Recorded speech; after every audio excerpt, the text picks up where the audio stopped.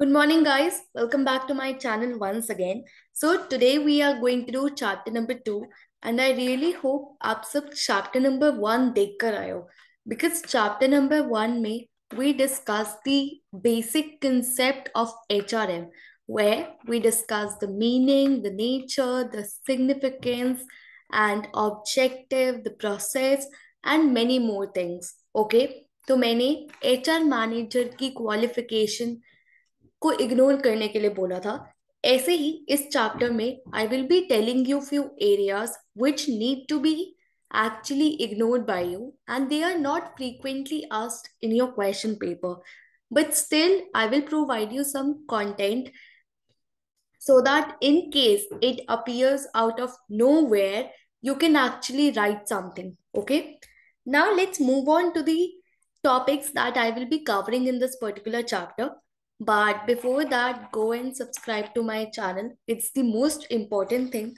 And uh, share the link with your friends. Now, what are the topics that we will be covering in this particular chapter?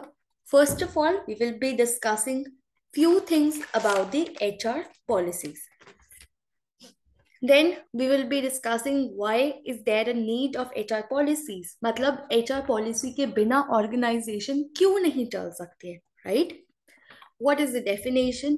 Her chapter में तुम एक definition पढ़ोगे अब DU वाले आगे से जाके तुमसे ऐसे डेफिनेशन नहीं पूछेंगे tell me the definition of this no but जब भी कोई क्वेश्चन आता है एक पर्टिकुलर चैप्टर से एंड तुम्हें लगता है कि तुम वहाँ पे डेफिनेशन ठोक सकते हो मतलब लिख सकते हो तो तुम्हें लिखनी चाहिए okay then what are the types of HR policies? We will be studying about those.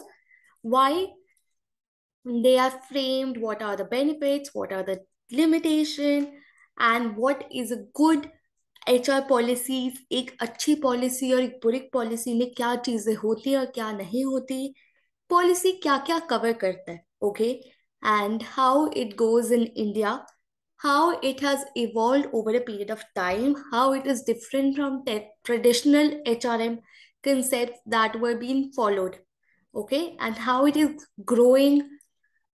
But uh, let me tell you, this is not important at all. But still, मैं यहाँ पे तो मैं कंटेंट प्रोवाइड करूँगी but uh, ये paper में नहीं आता है एंड आ भी सकता है you never know okay so it may और may not come but the possibility of coming this particular topic in exam is slightly low. Now let's move on to the introduction. Before my, you know, presentation goes on, हम कुछ चीज़ें discuss करते हैं कभी भी तुम किसी भी कंपनी की एचआर पॉलिसी उठा के देखना उसके अंदर दो टर्म्स तुम्हें बहुत मिलेंगे the personal policy and the HR policy कई कई जगह ये चीज़ें बहुत इंटरचेंजेबली यूज़ की जाती है बट ये ऐसे नहीं होती सेम नहीं होती ओके okay? अच्छा अब let's consider the H R policy because हमारा ये चैप्टर है ओके एच आर पॉलिसी बताती क्या? What does it actually tell you मतलब it will tell you two things और in fact more than two things क्या क्या बताएँगी? सबसे पहले तुम्हारे बिहेवियर कोड्स तुम्हारे एथिकल कोड्स फॉर एग्ज़ाम्पल आज तुम किसी भी कंपनी में जाओगे तो कुछ प्रैक्टिसेस कुछ रूल्स कुछ रेगुलेशंस होंगे जो तुम्हें फॉलो करने पड़ेंगे उस पर्टिकुलर ऑर्गेनाइजेशन में। तो ये रूल्स एंड रेगुलेशन तुम्हें कहाँ से पता चलेंगे? एच आर पॉलिसी के through okay so all these codes have to be followed by employees. Now who is responsible for it ये बनाता कौन है? बहुत ऑब्वियस सी बात है। एच आर पॉलिसी है तो कौन बनाएगा हमारा? एच आर डिपार्टमेंट ओके वो ही रिस्पॉन्सिबल होता है कि वो फ्रेम करे, वो मेंटेन करे, वो अमेंड करे, कोई चेंजेस चाहिए तो वो करे। ठीक है? अब तुम्हारा क्वेश्चन आएगा वाई सब पूछ लो तुम।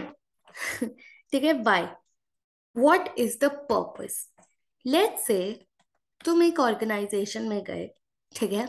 तुम्हारे दूसरे एम्प्लॉय से लड़ाई हो जाती है। ठीक है? बहुत लड़ाई हो जाती है, बहुत मिसअंडरस्टैंडिंग फ्रेम हो जाती है। अब तुम कहाँ जाओगे? ये लड़ाई सुलझाने तुम जाओगे कहाँ? एक दूसरे को कत्ल तो नहीं कर दोगे राइट ठीक है? तो तुम कहाँ जाओगे? तुम एचआर पॉलिसी पे जाओगे, ठीक है? तुम एचआर डिपार्टमेंट वालों के पास जाओगे। एचआर डिपार्टमेंट एचआर पॉलिसी देखेगा, फिर तुम्हारे डिस्प्यूट्स को सॉल्व करेगा। तो इसका पर्पस क्या हो गया? It is frame to solve the disputes between employees misunderstandings and it provides rights and obligation okay अब तुम बोलो कि यार, इतना टाइम वेस्ट आखिर करना क्यों है? मतलब पता है तुम्हें एच आर पॉलिसीज़ बनाने में कितना टाइम कितनी मेहनत, कितना सब कुछ जाता है? इससे अच्छा तो मैं कहीं और ध्यान दे दूँ। मतलब क्यों बना रही है? If there are no policies बहुत ज़्यादा तुम्हारी ऑर्गेनाइजेशन में कंफ्यूजन हो जाएगा कियोस हो जाएगा, बहुत सारे क्वेश्चन अनआंसर्ड रह जाएँगे। ओके लेट्स से मैं ऐसी एक फर्म में गई जहाँ पे कोई पॉलिसी नहीं थी, कोई रूल्स एंड रेगुलेशन फॉलो ही नहीं हो रहे। तो उसमें पता क्या हो रहा था? मैनेजर एक दिन आ रहा था, सात दिन छुट्टी पे था मतलब छह दिन छुट्टी पे था। ठीक है? एक सीनियर काम कर रहा था छह घंटे और एक काम कर रहा था सिर्फ़ आधा घंटा। ठीक है तो this is how an organisation will work if there are no policies, okay? So, obviously, policies are important. I guess इतना इंट्रोडक्शन काफ़ी था, समझ में आ गया तुम्हारा। तो तुम्हें ये कि ये किसके अराउंड रिवॉल्व करने वाला है ओके तो H R policies and procedure I hope my explanation was enough to give you an idea कि इस पूरे चैप्टर में हम क्या डिस्कस करने वाले हैं। As I mention what is the need of H R policy अगर एच आर पॉलिसी नहीं होगी तो कंफ्यूजन क्योस मिस अंडरस्टैंडिंग मतलब तुम्हारी ऑर्गेनाइजेशन गोल अचीव नहीं कर पाएगी, ठीक है? Now why it is required? first of all i need to comply with my legislation legislation okay I need to comply with my laws. अगर मैं इनसे comply नहीं करती हूँ my business will be called illegal. I have to pay fines. I have to pay penalties. Let's say तुम एक ऐसी country में हो जहाँ पे पर employee per wage worker or any person has to pay has to be paid 500 rupees each day minimum okay? And you are paying 400 to your factory workers. So tum illegal ho pe okay? You need to comply to the rules and regulation of the country. Now address issue that are important for the company's mission. Hr policies इस manner में बनाई जाती है कि हम अपने organisation के goals objective mission ध्यान में रखें okay so this is actually very important कि एच आर पॉलिसी एक कंपनी में हो एंड अगर होती भी है तो it should be regularly reviewed it should be it must be regularly reviewed ये नहीं कि हमारी कंपनी स्टैब्लिश हुई 2001 में और आज 2022 आ गए और तुम सेम पॉलिसीज़ को खींचे जा रहे हो। No no. अगर तुम्हें अमेंडमेंट्स करनी है अमेंडमेंट्स करो। तुम्हें अगर कोई पार्ट रिमूव करना है या तुम्हें कोई पार्ट एडिशन डालना है तो it should be updated it should be up to date fine now it should encourage fair and consistent treatment of employees जहाँ भी किसी एमएनसी की बात होती है, वहाँ पे हम एक कॉन्सेप्ट उठा देते हैं डाइवर्सिटी राइट डाइवर्सिटी मतलब लास्ट चैप्टर में भी पढ़ा था, कि हर कंपनी में बहुत तरीके के लोग होंगे, बहुत different nation different religion different caste now all these people are fairly treated. This is ensured by hr policies. And it provides framework. It will provide guide to an employee कि मुझे अपने आप को कैसे कंडक्ट करना है, मुझे दूसरों से कैसे इंटरेक्ट करना है ओके सो कैसे प्रोसीजर्स होंगे hiring procedure decision making procedure right तो all these thing will be actually mention in your HR policies now enough of the discussion enough of the lead part. Let's come on to the definition. As I mentioned, जहाँ भी तुम्हें H R policy का question दिखे make sure sure कि आप अपने answer को H R policy की डेफिनेशन से स्टार्ट कर रहे हो okay H R policy stand for the general standards okay और parameters based on which the decisions are right. It serves as a roadmap for the manager. Okay, I hope this actually completes the definition, but still, I feel this particular definition is incomplete. So, अब हम इसे complete कैसे बनाएँगे हम इस definition में कुछ features include कर देंगे okay I'll see हाँ तो हम क्या करेंगे हम इस डेफिनेशन को कंप्लीट बनाने के लिए उसमें फीचर्स इंक्लूड कर देंगे कैसे it is derive from the personal objective of the organisation अब ऑर्गेनाइजेशन क्या ऑब्जेक्टिव है, उसके अकॉर्डिंग एक पॉलिसी बनाई जाती है। Summarise the past experience now हम क्या करते हैं? लेट से हमारी ऑर्गेनाइजेशन 2001 में सेटल हुई थी। आज 2022 चल रहा है। Right right? हमें, हमने कुछ 2005 में ऐसी प्रॉब्लम फेस करी थी जिसके लिए हमें बहुत फाइन एंड पेनल्टी पे करना पड़ा था। हमने क्या किया? हमने अब उसे गाइडलाइन बना दी। ओके सो हमने अपने पास्ट एक्सपीरियंस से सीखा कि हमें एचआर पॉलिसी में क्या क्या चेंज करना चाहिए। Okay okay? अगर अब वो सिचुएशन फिर से आती है तो मैनेजर क्या करेगा? एचआर पॉलिसी पे जाएगा, देखेगा उस टाइम क्या डिसीज़न लिया गया था and he can actually take decision accordingly तो इससे क्या हुआ? मैनेजर का टाइम भी बचा कि उसे सबको कंसर्न नहीं करना, सिर्फ़ एच आर पॉलिसी खोल के देखनी थी। It guide to the executive thinking see क्या होता है? एक ऑर्गेनाइजेशन में एक प्रॉब्लम एक बार फेस नहीं होती। बहुत सारी प्रॉब्लम्स होती है एचआर से रिलेटेड जो बार बार आती है। लेट से नोटिस पीरियड में मैंने अपने मैनेजर को नोटिस पीरियड दिया हुआ है। अब मैं अपने मैनेजर से पूछती हूँ सर क्या मैं नोटिस पीरियड में छुट्टी ले सकती हूँ? मेरा मैनेजर कहता है रेफर टू द पॉलिसी इससे क्या हुआ? मैनेजर को अब बार बार टाइम वेस्ट नहीं करना टू एक्सप्लेन मी कि मैं छुट्टी ले सकती हूँ या नहीं ले सकती। लेट्स से कल उसके पास कोई और आता है। ओके, कि, सर, नोटिस पीरियड, छुट्टी, वो कहेगा, refer to personal policy, your, you know, refer to the H R policy, so this is how it actually save the time of manager. They don't have to explain you same problem again and again. It helps in achieving coordination. Now, see, obviously अगर तुम्हारी organisation में अच्छी policies बनी हुई है तो तुम्हारी organisation में कोऑर्डिनेशन भी अच्छे से होगा।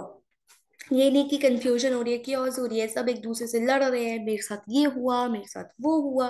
No it does not happen that way now types of H R policies if you want to remember like this, you can remember, but i will tell you an important thing है तीन तरह के type होते हैं, ठीक है?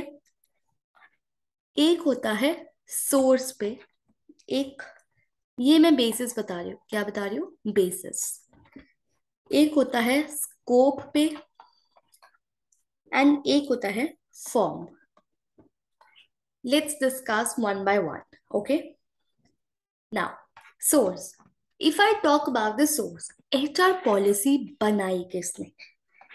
Originated if it is originated if it is framed by the top management it is known as originated policy appealed policy appealed policy क्या होती है ये ऐसी पॉलिसी होती है जो कुछ यू नो सिचुएशंस की रिक्वायरमेंट फुलफिल करने के लिए बनाई जाती है जो मेरी पहली पॉलिसी में चीज़ें कवर नहीं हो रही थी वो अपील पॉलिसी में कवर हो जाएगी ओके एंड इम्पोज्ड इम्पोज्ड का मतलब तुम्हें पता है? दबाव या इम्पोज कर दिया, बस कर दिया इम्प्लीमेंट ओके दबाव कौन डाल सकते हैं? एक्सटर्नल लोग। एक्सटर्नल लोग कौन हो गए कंपनी के लिए? Agencies government trade association unions okay so these are your trade policy. Fine, i hope you got the source now let's talk about the source. एक होता है जनरल पॉलिसी जनरल मतलब वर्ड से ही समझ में आ रहा है। बेसिक चीज़ें बताएगा। Basic philosophy priorities top management की right specific policy are those policies जो मेरे स्पेसिफिक मैटर्स को इंडिकेट करेगा। लेट्स से हायरिंग हो गया रिवॉर्डिंग हो गया राइट ये बेसिक पॉलिसीज़ के इन लाइन ही चलती है but they will indicate few important issue specific issues form एक होता है इम्प्लाइड और एक होता है रिटर्न रिटर्न सब चीज़ें रिटर्न है, सब चीज़ें पेपर पे लिखी हुई है. इम्प्लाइड तुम्हारे बिहेवियर से पता चलता है. ठीक है? यहाँ कोई लिखा नहीं जाता but yes it is expected from you it is expected from your behaviour example your dress code अब तुमसे ये उम्मीद की जा सकती है कि तुम you know booth jeans torn jeans rip jeans पहन के नहीं आओगे office you will come office in formals so this is implied policy. अब, if you want to remember it as OI swag, you can remember. Okay? I have discussed everything but let me tell you always remember the three base I have not mentioned over here but always remember the source the scope and the form now, in case you are pursuing ACCA, contact us for the test series. For more details, you can actually watch our video. Now, benefits of HR policies. Let's move on to the different topic. Uh, let's move on to the next topic, sorry. That is your benefit. मैंने एक company में इतनी बड़ी वो बना दी है इसमें 500 pages है लो भैया एचआर पॉलिसी हमारी हो गई रेडी अब जिसे भी दिक्कत हो आओ अपनी प्रॉब्लम देखो और निकलो इसका फ़ायदा क्या हुआ जो मैंने अपना इतना टाइम वेस्ट किया ये बुक बनाने में, इसका फ़ायदा क्या हुआ? इसका फ़ायदा हुआ सब कुछ okay you will remember this mnemonic for benefits okay now S stand for the work for workplace safety see policies में कभी एक सेक्शन होता है that talks about the safety अब सेफ्टी में लेट्स से इमरजेंसी कि अगर हमारी ऑर्गेनाइजेशन में आग लग गई तो तुम कैसे भागोगे? ओके? कभी कभी they discuss about H R safety policy your federal state guidelines कि भैया, इस कंट्री में ये रूल है और हम ये रूल फॉलो कर रहे हैं। ओके यूनिफॉर्मिटी यूनिफॉर्मिटी यूनिफॉर्मिटी का क्या बेनिफिट है? देखो, ये एक तरीके से यूनिफॉर्म डिसीज़न लाती है हाई लेवल पे, ओके? लेट्स से आज अगर कोई दिक्कत हुई मेरे साथ, चाहे मैं सीनियर के पास जाऊँ, चाहे मैं मैनेजर के पास जाऊँ, दोनों सेम डिसीज़न देंगे मुझे। क्यों? क्योंकि दोनों ने कंप्लाई किया है एचआर पॉलिसी के साथ, ओके? तो यहाँ पे मेरी कोई डर्टी पॉलिटिक्स नहीं चल रही है कि मैंने मैनेजर को पटाया या सीनियर को पटाया कि, सर सर सर, कर दो ना please no they both will avoid to your H R policy and they will give me same decision why because of H R policy तो this is how it act as a benefit it provides a sort of uniformity better control obviously I will have a better control देखो policy में क्या होता है? हर तरीके का relationship justify किया जाता है, अच्छे से मेंशन किया जाता है। Okay? That these are the senior level, senior one, two, three, four, and these are the manager level. Okay?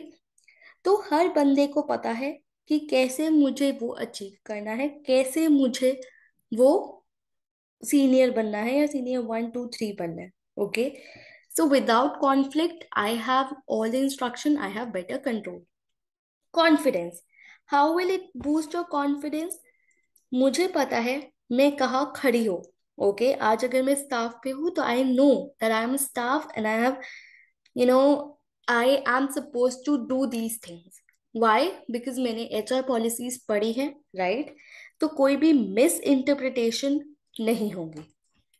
Organisation structure जैसे ही तुम ये बुकलेट का फ़र्स्ट या थर्ड पेज खोलोगे, तुम्हें एक सुंदर सा पेज दिखेगा introduction to H R policy manual जहाँ पे उन्होंने ऑर्गेनाइजेशन का स्ट्रक्चर बताया होगा। ये मैनेजर है। लेट से कोई भी ऑर्गेनाइजेशन के डिस्कस कर रही हूँ, उसके अंदर तीन सीनियर आते हैं। उसके अंदर ये आता है, उसके अंदर ये, फिर ये ये ये, ठीक है? तो तुम्हें पूरा ऑर्गेनाइजेशन का स्ट्रक्चर पता होगा। Delegation now R policy always help manager to operate at different levels ठीक है? मुझे manager can actually, you know, फटाफट से they can take decision without actually consulting the supervisor कि भैया मैं सही कर रही हूँ या नहीं कर रही every time they don't have to coordinate with supervisor in order to take the decision so i can take my decision confidently standard of efficiency now policies can also serve as a standard in execution of work this is the expected standard of your work ये नहीं कि तुम सुबह दस बजे आए तुमने उल्टा सीधा काम किया और तुम भगली no this is the quality of work that is expected from you Right And finally, speedy decision. As I mentioned, I have to just refer to the framework and I can take my decision. And uh, अगर वो past में हुआ होगा तो it will act as a guideline to me for current year. Now, what are the obstacle in administering HR policy? कभी कभी HR policy को implement करना इतना आसान नहीं होता जितना आसान हम हवा में कर रहे हैं। Why first reason is reluctancy reluctancy by कुछ कुछ मैनेजर्स कभी कभी रिलक्टेंट होते हैं in order to follow the HR policy क्यों? कब रिलक्टेंट होंगे? जब चीज़ें उनके फेवर में नहीं होती।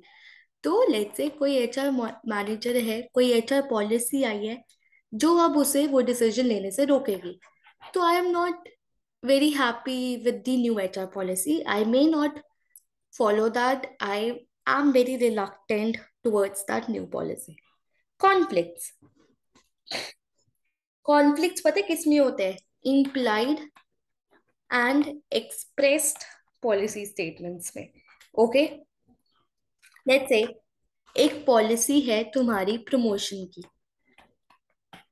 एक्सप्रेस पॉलिसी मतलब जो अच्छे अच्छे खुले इसमें लिखी है कि हम तुम्हें प्रमोट करेंगे मेरिट बेसिस पे बट इम्प्लाइड पॉलिसी किसी मैनेजर ने बोल दिया तुम्हें yes man of course you will be promoted so did he mean that may or may not be. That is an implied. So, that is conflict. Constant revision. जैसे मैंने कहा था H R policy needs to be updated it's need to be regularly reviewed और ये बहुत ज़्यादा costly and time consuming process होता है। इतना आसान नहीं होता कि तुम हर ईयर हर मंथ ऐसे रिविजन कर रहे हो okay so the daily revision is actually costly time consuming process not easy to communicate course, ये सब चीज़ें ना अगर तुम किसी एम्प्लॉय को बताओगे ना, वो पता क्या बोलेगा? या तुम भाषण मत दो हमें, ठीक है? तो this is the sort of attitude an employ have toward the HR policy they think these are very general things these are very you know easy to understand thing कि यार ठीक है, ये तो पता ही है हमें ऑब्वियसली ये नहीं पता होगा मुझे। ठीक है? So this is how the employee attitude is towards the HR policy. May restrict the freedom of manager as I mentioned this is the only reason why they are so reluctant to follow the HR policy because sometimes new HR policies will restrict the actions of the manager and they may restrict the freedom of the managers. Now, you may sometimes have a good HR policy and you may sometimes have bad HR policy. How will you differentiate between these two? That yes, my uh, organization follows a good HR policy. Let me tell you, this is not important, but yes, you need to just remember one word that is offers. Okay? O stand for it should be related to objective. ऐसा नहीं है कि तुम्हारी H R policy कुछ और ही discuss कर रही है okay it should be related to what your organization needs to actually ठीक है what they actually want to achieve what are their mission what are their strategies what are their objective if it should be based on facts हवा में बातें नहीं करनी मुझे, ठीक है एच पॉलिसी में। हमेशा I have to be on ground I have to make H R policy based on facts it should be fair and equitable जहाँ भी ये वर्क वर्ड आए ना, तुम वर्क वर्कफोर्स डाइवर्सिटी याद कर लो बस, ठीक है? इजी टू अंडरस्टैंड ये नहीं कि तुमने इतने मुश्किल मुश्किल टेक्निकल जार्गन डाले हुए हैं अपनी एचआर पॉलिसी में कि एक नॉर्मल एम्प्लॉय को तो समझ ही ना आए। Okay it should not happen that way review as I mention ये नहीं कि एक बार बना के तुमने छोड़ दी। It should be constantly reviewed और it should be reasonable it should be you know, made with acceptance. It should be accepted by all the employees. Okay? कुछ भी ये ऐसा नहीं होना चाहिए कि तुम अनरीजनेबल थिंग्स बोल रहे हो to your employees that for example you state your in your H R policy that you are not allowed to leave take any leave in six month तो that is something unreasonable obviously I will take due to some personal reason और anything okay now coverage of H R policy What all things are actually covered by my HR policies? First of all is the relation policy. How I am, you know, I am dealing with humans at the end of the day, right? They will have different aspects. So they should all cover the relation policy. They should all cover policy regarding your motivation, your morale, your communication, leadership, complaints. Okay. Social responsibility, of course, if I'm dealing with the society at large, they sh I should have a you know area or social responsibility too. देखो एक normal सी बात बताओ कैसे याद करोगे इसे let's say तुम्हारी ये कंपनी है ठीक है तुम इसकी पॉलिसी बना रहे जब भी कोई पॉलिसी बनती है सब चीज़ों का ध्यान रखा जाता है बाहर कौन है, अंदर कौन है और एज अ ऑर्गेनाइजेशन तुम कौन हो। तो बाहर क्या हो गया? सोशली रिस्पॉन्सिबल अंदर तुम्हारे एम्प्लॉयज़ उनके साथ क्या रिलेशन है? ठीक है? Third promotion then again promotion policies promotion policy कैसे मुझे प्रमोट करना है? एवरीथिंग उनकी डेवलपमेंट का ध्यान रखोगे। राइट सो पॉलिसी ऐसी होती है कि वो सब चीज़ें कवर कर ले। आगे जाके कोई डिस्प्यूट कोई कंफ्यूजन नहीं चाहिए मुझे एम्प्लॉयमेंट पॉलिसी एम्प्लॉयमेंट पॉलिसी मतलब हो गया तुम्हारा इक्वल एम्प्लॉयमेंट अपॉर्चुनिटीज़ कैसे सिलेक्ट करोगे कैसे इंकरेज करोगे कि वो अपना हंड्रेड परसेंट दे डेवलपमेंट जहाँ भी डेवलपमेंट की बात आएगी तुम किसकी बात करोगे ट्रेनिंग की okay okay? Now, HR policies in India. Let me tell you again, this is not important. Okay. Still, if you want it, uh, I'll explain it. But uh, I will be explaining just in a line or two. But uh, yeah, you can just remember it once, but you can also ignore it if you want.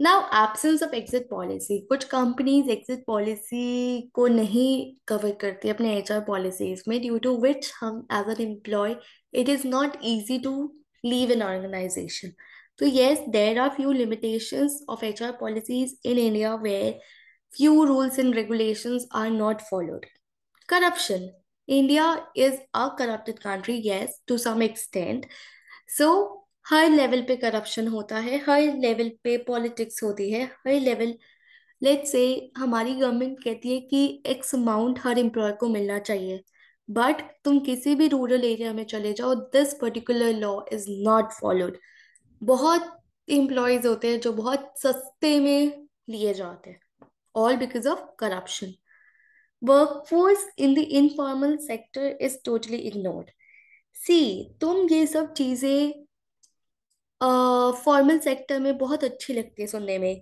Top four companies Google Microsoft but what about the informal sectors ठीक है?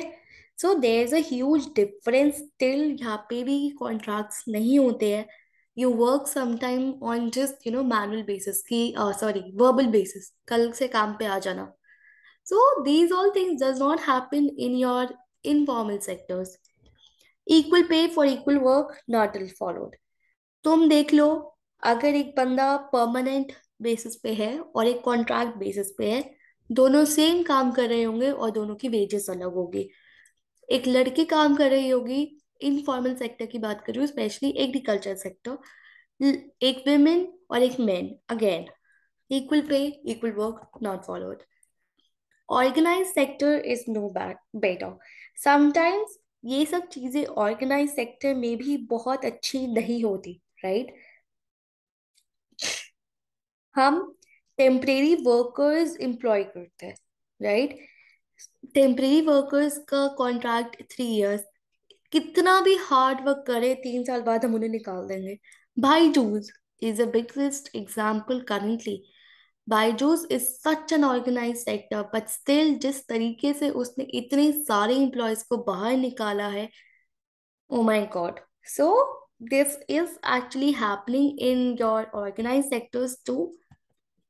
Now, this is an important difference how the traditional personal practice and modern practices are different. I will just show you the table. Traditional personal practice का मतलब बता देती हूँ। Modern जो हम अभी फॉलो कर रहे हैं, जो हम अभी सारी चीज़ें डिस्कस कर रहे हैं ट्रेडिशनल में क्या आ जाएगी? पहले पता क्या होता था? एक पर्सोनल फ़ंक्शन पर्सोनल डिपार्टमेंट होता था। उसका काम पता क्या होता था? ये लो भैया, एक लाख रुपए है। कॉस्ट सेंटर भी बोलते थे उसे हम। तो एक लाख रुपए है। आप, इन लोगों को लाओ, उन्हें रखो और उनके रिकॉर्ड मेंटेन करो, ठीक है? एंड टाइम टाइम पे देखते रहना किसे प्रमोशन करना है, किसे नहीं करने, ठीक है? किसे निकालना है, किसे रखना है। तो अगर कॉस्ट कम करनी पड़ती थी तो लोगों को निकाल देते थे। और अगर कॉस्ट बड़ी मतलब ठीक है, ठीक चल रही है तो लोगों को और ले लेते थे। बस इतना ही काम था ट्रेडिशनल पर्सनल डिपार्टमेंट का। बट आज के टाइम में बहुत चीज़ें रिवर्स हो गई है। मॉडर्न एचआर लोग बहुत अलग हो गए हैं। बहुत सारे डिसीज़न वो लोग लेते हैं। Highest level you won't believe HR people actually are doing meetings with the top level shareholders, CEOs, everybody. They are indirectly the decision makers now.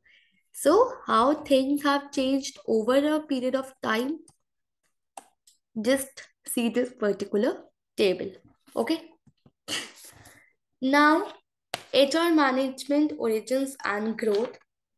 I don't know why I did not do animation in this particular slide, but let's discuss this last part of the chapter and finally the chapter is over. Okay, wait. Okay, now let's discuss the, I'll rather do here only. Now ignore this. HRM origin and growth. बहुत ध्यान से समझना सबसे पहले आया मेरा industrial phase industrial phase में क्या होता था अगर मेरी एक फैक्ट्री है तो एक मशीन लाई जाती थी उस पर इसे काम सिखाया जाता था एंड बोला जाता था कि तुम्हें डेली की फिफ्टी थाउज़ेंड यूनिट प्रोड्यूस करनी है बस। एक काम सिखाया जाता था बोरिंग सा। लेट्स से मेरी बिस्किट की फैक्ट्री है। मैंने कहा कि तुम्हें बिस्किट में सिर्फ़ ऐसे ऐसे यू नो स्पार्कल करना है। बस। And you have to do it for fifty thousand biscuit so I am just doing one particular thing right फिर आया तुम्हारा, यहाँ पे गवर्नमेंट भी ज़्यादा इंटरेस्टेड नहीं थी कि तुम क्या कर रहे हो, क्या नहीं कर रहे हो बाहर जाओ ओके फिर आया तुम्हारा साइंटिफिक स्टेज साइंटिफिक स्टेज अगर तुमने बिज़नेस स्टडीज़ में पढ़ा है तो वो थे तुम्हारे एफ़ डब्ल्यू टेलर राइट ये सब चीज़ें आई, जहाँ पे उन्होंने बोला कि एफिशिएंसी को मैक्सिमम कैसे किया जाए। ट्रेन करो लोगों को सिस्टमैटिक मैनर में करो डिफरेंट टेक्निक्स यूज़ करो differential piece veg system use करो, ठीक है? फिर आया आपका ट्रेड यूनियन अब वर्कर्स को अकल आई कि भैया, हमें बहुत एक्सप्लॉइट किया जा रहा है, अब जागने की बारी आ चुकी है राइट फाइनली उन्होंने अपने हक के लिए लड़ना स्टार्ट करा एंड कंडीशंस थोड़ी इम्प्रूव हुई। फाइनली आपका आया H R movement. H R movement में लोगों ने रियलाइज़ किया एम्प्लॉयर ने रियलाइज़ किया कि अगर एम्प्लॉय एम्प्लॉय की प्रोडक्टिविटी बढ़ानी है तो उसे सिर्फ़ जॉब नहीं समझानी, उसे रिवॉर्ड भी करना है, एक बॉन्ड भी बनाना है राइट उसे अलग अलग चीज़ों के लिए ट्रेन भी करना पड़ेगा okay and finally the last was HR approach जो हम आज के टाइम में फॉलो कर रहे हैं, कि हर बंदा इज़ यूनिक हर इंसान के पास एक अलग आइडियाज़ है. हर इंसान को अलग ट्रीट किया जाना चाहिए इन अ मैनर कि उसे अलाउ किया जाए अपनी सजेशंस देने के लिए right you can not exploit human beings. So this is how the growth actually took place in context of human resource management finally the last topic is the growth of hrm in india you can do it development phase okay I don't think this will ever come in exam, but अगर तुम्हारी teacher ने बोला है so please let me know in comment section. I will make a separate video because this is, according to me, not at all an important topic. In case you think it is important and you need an explanation, so you can just con comment uh, below. I will provide you with a detailed explanation, but I guess I have covered all the topics in detail. And uh, that's it from my side. The chapter is over. And uh, in case you want notes, you can contact me at ruchikoil2306 at the rate gmail.com or you can do another thing. You can just write it in the comment section, your email ID, okay? And I'll contact you. So thank you so much. Have a great day. Finally, the chapter is over. Make sure that you revise the chapter. Make sure uh, वो second slide पे जाओ and आप देखो कि हमें आपको सारे topic समझ में आ गए जस्ट मैंने dial open that slide this so make sure कि आप ऐसे टिक टिक टिक टिक टिक कि हमें सब समझ में आ गए। Okay take a screenshot that ये screenshot is for chapter number two and I have understood all topics so have a great day finally the chapter is over i'll meet you in another chapter that is chapter number three at hrm के सारे chapters easy है बस ये ध्यान रखना तुम mnemonic से चीज़ें याद कर रहे हो things will become very easy for you have a great day all the best for your exam keep studying keep rocking bye